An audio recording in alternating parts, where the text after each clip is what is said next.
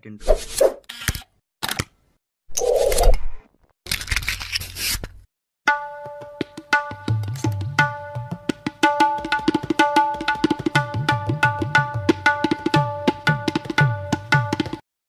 या पाण्याने गुळण्या करा.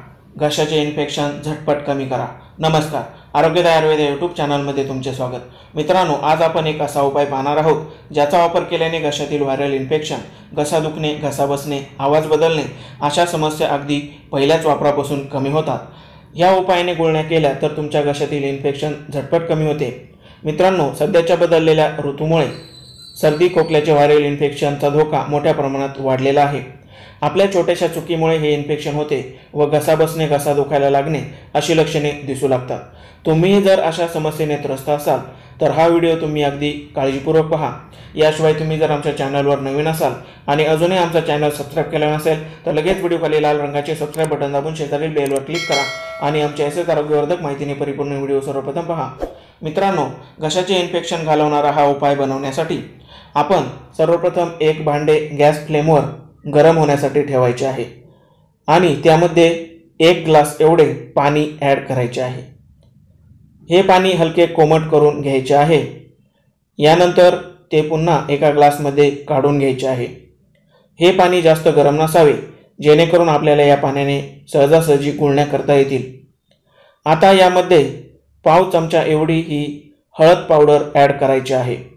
हळद अँटीबॅक्टेरियल व अँटी इन्फ्लामेटरी असल्याने घशाला झालेले व्हायरल इन्फेक्शन या हळदीच्या वापराने नष्ट होते. यानंतरचा दुसरा घटक म्हणजे हे सैंधव मीठ. सैंधव मीठ देखील आपण पाव चमचा या प्रमाणात घ्यायचे आहे. यानंतरचा पुढील घटक म्हणजे हे मध. मध आपण अर्धा चमचा या प्रमाणामध्ये घ्यायचे आहे. आता हे तीनही घटक या पाण्यामध्ये व्यवस्थितपणे मिक्स करायचे आहेत. सैंधव मीठ देखील अँटीबॅक्टेरियल व अँटीव्हायरल असते. यामुळे घशातील बॅक्टेरियांचा नाश होतो. मधामुळे घशातील कप पातळ होऊन तो बाहेर पडण्यास मदत होते. हे तीनही घटक व्यवस्थित मिक्स झाल्यानंतर आता हा आपला उपाय तयार झाला.